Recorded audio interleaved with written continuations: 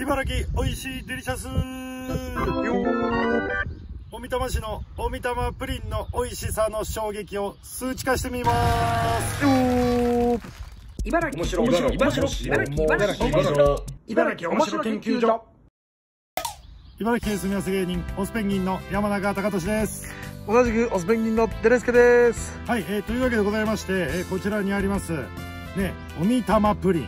これも茨城県が誇る超高級プリンでございます、はいはい大人気スイーツ。茨城県の卵を使ったりうん。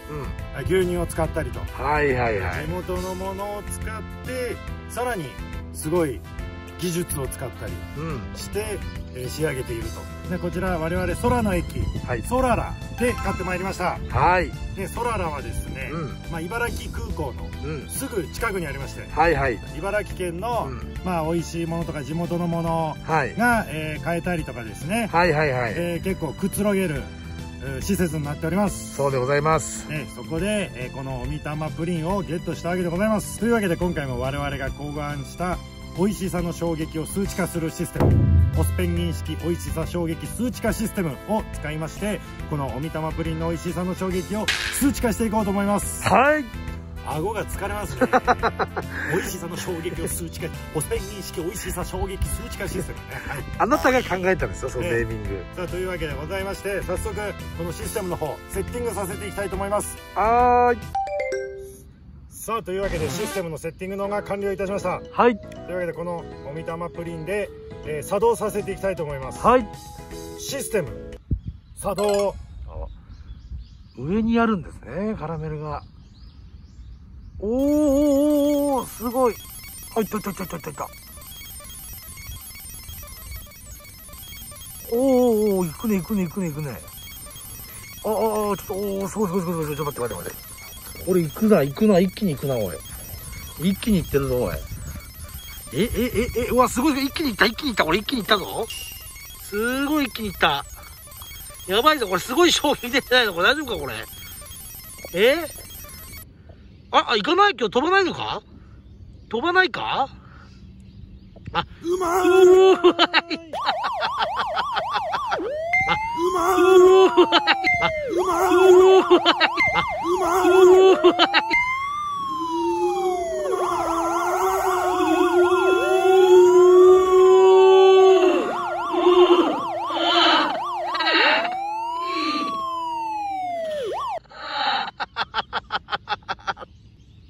測ってあ測って測ってはいはいはい。はい。はい。いったんじゃないのこれ。痛い。あ、そすごい。え？すごい !1 メーター5センチ。おおついに1メーター5センチ出ました。いやなんかねすごい。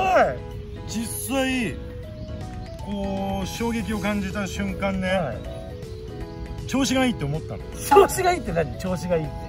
美味しかったってことでしょ衝撃が。お前いっぱい食べたしね、はいはい。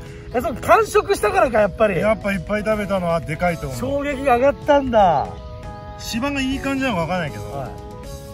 着地した瞬間はい。ちょっとね腰が擦れたのよ。はいはいはい。つまりこうスライディングっぽくなったと思う。ちょっと伸びたってこと？それで多分1メートル超えたのはあると思う。えー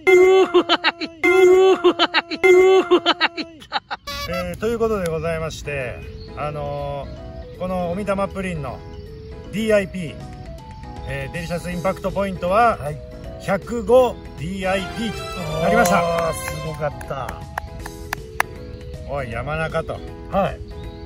お前プリン食べたら簡単に100超えるんじゃねえのかと。なるほど。プリン好きなだけなんじゃないのと。なるほど思ってる方いらっしゃると思います。はい。なので、まあ、今回はですねスーパーやコンビニどこにでも売っている、はい。まあ、一般的な美味しいプリンの衝撃を数値化して比べていきたいと思います。なるほどなるほど。それでは、えーシステムセッティングします。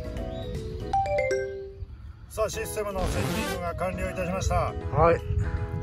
まあ、こちらがね、まあ、本当にどこにでも売っている一般的なリーズナブルなプリンますはいはいはいはいさあどのぐらいの衝撃になるのかシステムの方作動させていきたいと思いますはいお願いしますシステム作動はいね食べるだけでございますけども